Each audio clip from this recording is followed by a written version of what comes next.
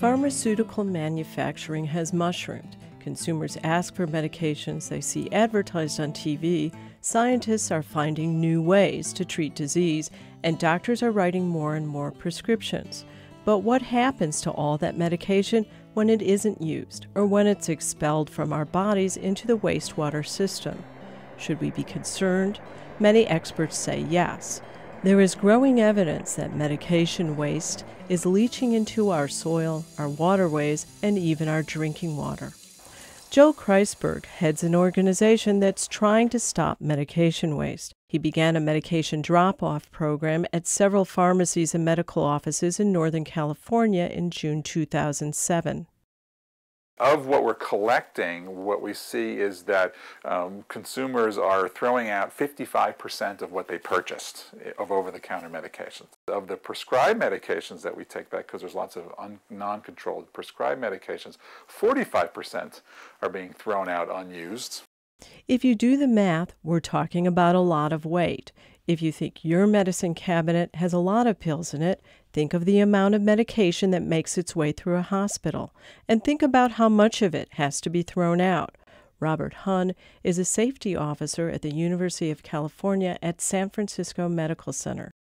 He makes sure that all the unused medication is disposed of correctly from the nurse's locked medication room to the bin where it's placed to the dock outside where it's secured until a medical waste hauler loads it on a truck and takes it away. Previous to all this, you would just put waste drugs either down the sink or you'd put them in the normal trash and you wouldn't have to worry about it. We probably dispose of 1,500 pounds of pharmaceutical waste a week. That's about 78,000 pounds of medication waste a year from just one hospital. Where does that waste go? Transporting companies like Rick Vasquez's Integrated Waste Control take it on the rest of its journey to an incinerator or to a treatment plant for decontamination. When our drivers pick up waste uh, that's properly packaged, of course, uh, they secure it and it's triple contained inside a container and put inside their permitted truck.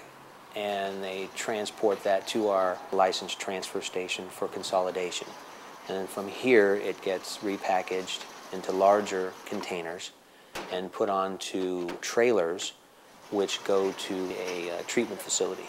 And then from there, it goes into a landfill as its final disposal. Another source of medication waste is what's excreted from humans and ends up in our wastewater treatment plants. According to the Environmental Protection Agency, about 100 personal care products and pharmaceuticals, such as antibiotics and estrogen from birth control pills, can't be filtered out and show up in our drinking water. Scientists haven't been too concerned about the levels to date, in part because they are minute, but they've seen the effect on aquatic life.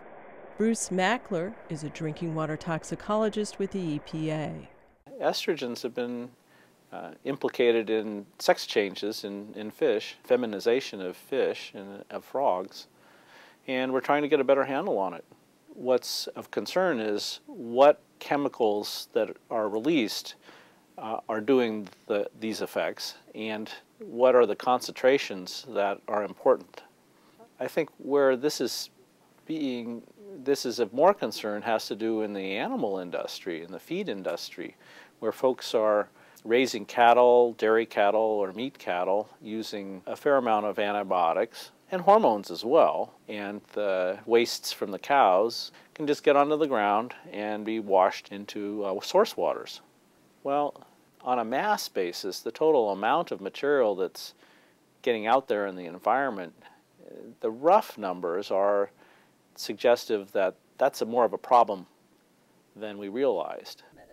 Nevertheless, Macler says currently there is no evidence that pharmaceuticals in drinking water pose any threat to our health. At this time, it doesn't look to be much of a problem for most of these pharmaceuticals directly for human health.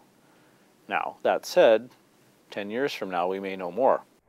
10 or 20 years from now, we may know more, but today we can help protect ourselves and our kids from possible risks by not throwing unused medications in the trash or down the toilet. Otherwise, there's no telling where it will end up.